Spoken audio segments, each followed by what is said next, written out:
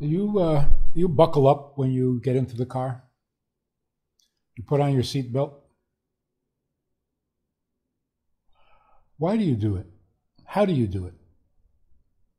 Do you get into the car every time you go for a drive and remind yourself of the possibility of getting into a car accident? Do you visualize the horrible results? You ever watch a video in slow motion of a person in an accident? Not a dummy, a human being. Do you do that every time you fasten your seatbelt? I mean, after all, isn't that what you're doing? You're putting on the seatbelt to prevent yourself from uh, going through the windshield, from hitting the dashboard. You get the idea. I hope you don't. Maybe the first time when you needed to be convinced that wearing a seatbelt is important, uh, people described in graphic detail the horrors of being in an accident without it. But were they ever meant to intimidate you? To make you paranoid? To have you think and visualize the horrors of an accident, what's going to happen to your head, to your face? No. No. If you're putting on your seat belt, you're doing what you need to do. Now enjoy the ride. Think about the amazing creation that a car is. It really is impressive. And think about the beauty of the scenery you're passing. And think about the fact that you're getting places much faster than your ancestors ever dreamed. Enjoy the ride. Enjoy the life. Now, if there are moments when you're feeling reckless and you're feeling irresponsible, you can always refer back to the graphic horror of what might happen should there be an accident, God forbid. So, that information, that negative picture, is a useful one. It's a true reality. Yes, accidents are horrible. Uh, and you can always use it to motivate yourself to put on the seatbelt. But if you're doing this every day, every time you fasten the seatbelt, you imagine yourself disfigured. That is not healthy, that is not good, that is not desirable.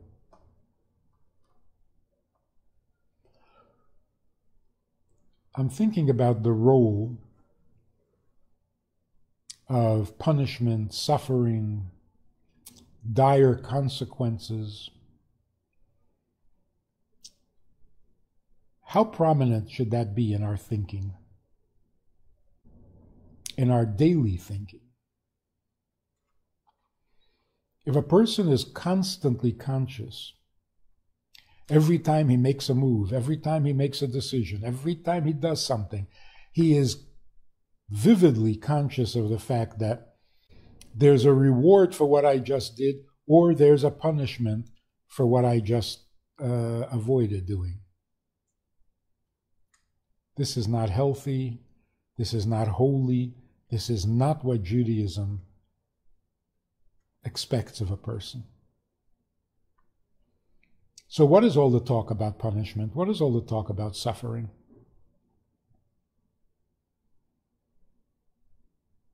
Well, the first thing is when God promises reward and punishment,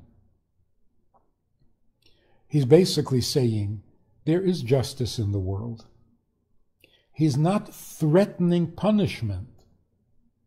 He's saying there is a balance. There's good, there's evil, there's better, there's worse, and there is judgment. What you do matters. You do good, you get good. You do bad, you get bad. It's not a threat. It's a compliment to life. Life is not an accident. Life is not, is not insignificant. there is judgment. Judgment means God pays attention. It matters to him. Right is right for him, wrong is wrong for him. That's what reward and punishment is supposed to be. It's not supposed to be an intimidation. If you want to make a really cogent argument,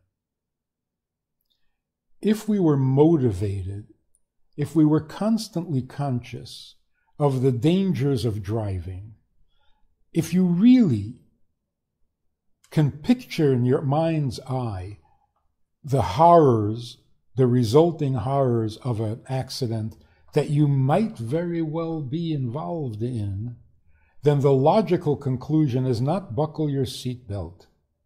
The logical conclusion is get out of the car. Don't get into a car ever, ever. And if that's the logical conclusion of your argument, then your argument is faulty to begin with. Any argument that argues against life, it can't be a good argument. So, any argument that leads you to the conclusion, maybe you're better off not living at all, because then you'll never get into an accident. See? Something's wrong with the argument. If we focus on the punishment and the suffering and, and, and the pain, the ultimate logical, logical but illogical conclusion. Just quit.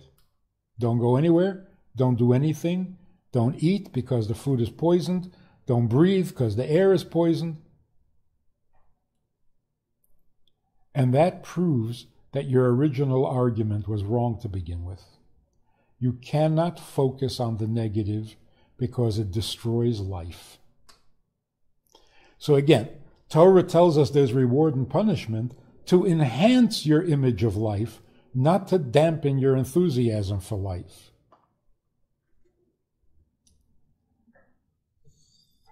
The other thing is, the punishment is there to be useful.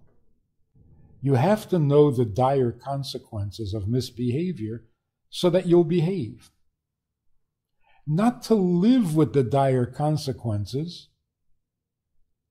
but to avoid those things that bring those consequences so that you can focus on what is enjoyable and positive about life. And that's what it means choose life. I place before you today, God says, I place before you today a choice the good and life, the bad and death. Choose life. Why the need? Why does God have to say choose life?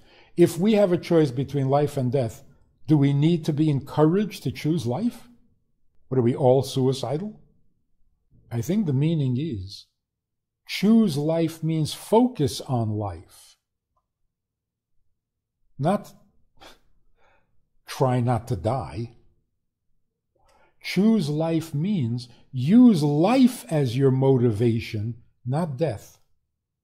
So, of course, avoid death. Of course, don't do things that might lead to death. But once you've avoided it, it's done its job. You don't focus on death, you focus on life. And that's what it means to serve God with joy. Again, why do we need to be told? Here you have people serving God. And the question is should I serve him with joy or should I serve him with fear and trepidation?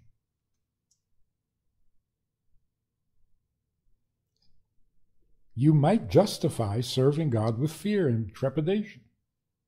Why? Because we're told to fear God.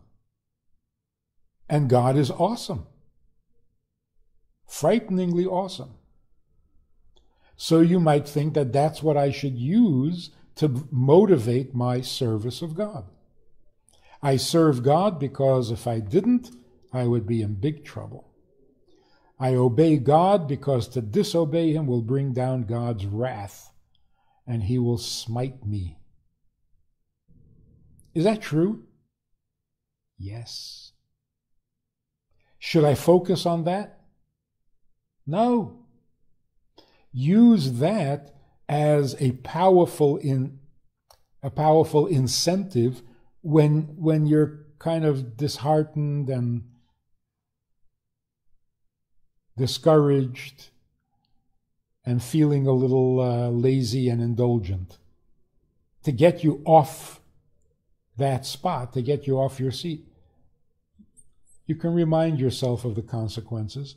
You can focus for a moment on those consequences. That'll kick you back into gear, and now serve God with joy. So, yes, you can use the thought of punishment and suffering to avoid sin. But avoiding sin is only is only valuable because it relieves it releases you and frees you to go about living life properly and that's with joy. So day by day you focus on what is beautiful what is godly what is altruistic. You can serve the creator. It's a joyful and, and enjoyable life.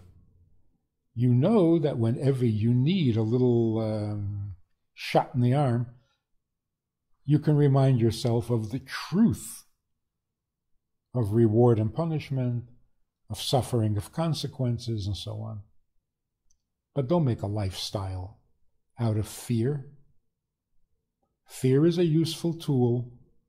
Joy is life. So choose life. Serve God with joy. And today, particularly, after all the pain we've already suffered as a nation, as a world, after all the consequences we've already suffered, we've paid our price. Now it's time to focus on life. Now it's time to focus on how amazing it is that we've survived all that pain, that we've come through all that pain. I just read where the previous Rebbe says, when he came to America and he's talking about the Jews in Europe, he says, Here we live comfortably, we're free. Are we any better than our brothers and sisters behind the Iron Curtain? Or are they better than us? The Rebbe says, I consider every Jew in Europe a tzaddik, completely righteous, even if they fail to do the mitzvahs they're supposed to do. Because just being able to take the pain and, and the difficulties without giving up on life that's a holiness that you have to envy and respect. So, in today's world, the Jewishness that we have preserved, despite all odds, that's enough. We have satisfied the need for punishment. We've satisfied the need for overcoming pain. Now, only joy only positive thinking about every Jew, about all Jews, even a little bit about yourself. So now is really the time to serve God with joy. There is no other way. Shalom Aleichem. How are you? You know, I do a lot of talking, a lot of Zooming, many classes, many subjects. But that's all formal stuff. Hopefully good stuff, but formal. We also have a Wednesday night meeting that's more informal and kind of um, heimish. If you want to join us for that kind of an event, um, interactive, time for questions and so on, if you want to join us for this side of conversation, click on the link below and join us every Wednesday night at 9 o'clock. Well, maybe not every Wednesday night, but we try to make it every Wednesday night at 9 o'clock, a more informal chat which um, can be more enjoyable at times than the formal stuff. So check it out. Click on the link and join us. Try it, you'll like it.